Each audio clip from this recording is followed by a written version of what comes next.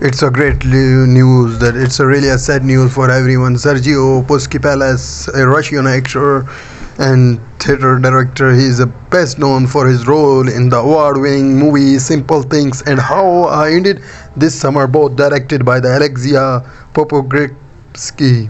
Born in April 15, 1966 from Russia and died at September 20 and 22 Oblast, Russia, nationality Russian and parent uh, Vetastas Puskepalis and children Gleb Puskepalis. It's a really a sad news for everyone that Russian actor is no more with us.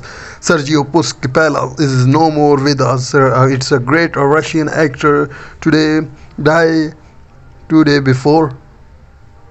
So it's a really a sad news for everyone that he is no more with us. It's a really a sad news for everyone.